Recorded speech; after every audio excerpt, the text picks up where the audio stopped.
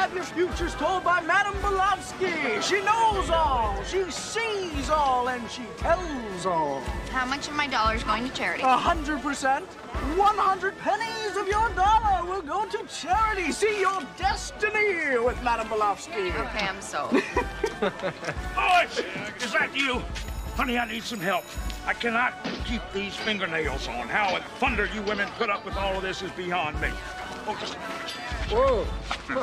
Come on, boys. You'll be here when I get back, right? You're not gonna have some sudden urge to buy a video or put money in the parking meter, go get yourself new shoelaces.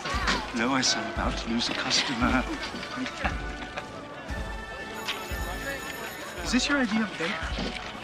Do you think Scardino takes her to silly street fairs, buys her cotton candy? Jimmy, I don't care what Scardino does. Huh. Hi, guys. Lois around? Yeah, and she's, uh, with me. Yeah. Yeah. Like a date? Yeah, like a date. You know, where she and I are together for a period of time as a couple. You know, she is with me and I am with her. Look out! Look out! I can't hold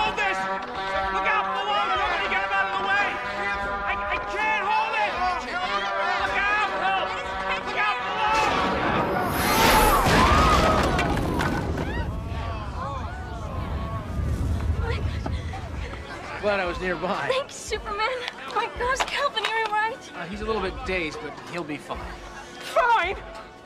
Fine. He broke my hand, Elise. Just when I get my big break in showbiz, this baboon busts my hand. Take me to the hospital. Right now. I mean it.